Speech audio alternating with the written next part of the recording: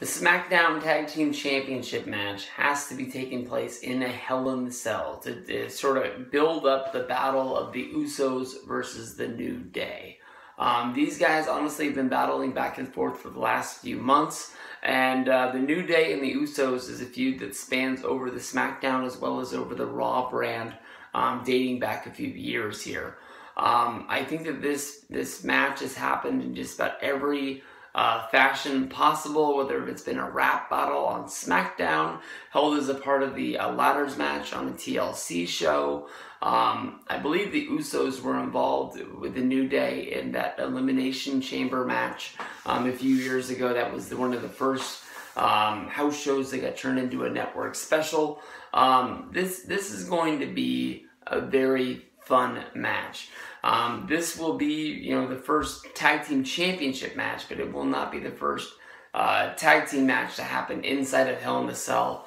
I'm guessing this is going to be held under, um, I guess you would call it Texas Tornado tag rules, um, where all four men will be in the, the match, um, going at it at, the, at, one piece. The only way they could screw this up is that I think if they would have found a way to give the New Day um, the advantage, um, although there are no rules in the Hell in the Cell, and uh, you know we've seen uh, from Hell in the Cell matches in the past that they've come up with thousands of different ways to, to get out of the cell in order to you know fight uh, you know uh, in the aisle or you know climb the cage and fight on top. Um,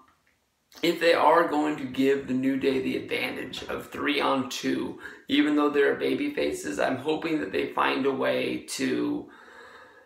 to really play up um, how they do it. I don't want to see just one of the members of the New Day, whether if it's Xavier Woods, um, just sort of open the cage door, walk in, and have the advantage. If, it means um, the Usos have to, you know, throw one of the members of the New Day through um, the actual fencing of the Hell in the Cell. Um, and then once uh, they're on the outside, they do the little switcheroo um, like they've done in the past, um, just trading out a fresh man for somebody who's beaten down. Um, that that would be something, but I, I just don't want to see them have three on two advantage like they did in the Elimination Chamber a few years ago. After the New Day helped out the Authority, um, the Authority gave um, the, the New Day the heads up that they were going to have all three members inside of their pod at the Elimination Chamber, would not have to use the Freebirds rule of having to pick which two members would be involved in the match. Um,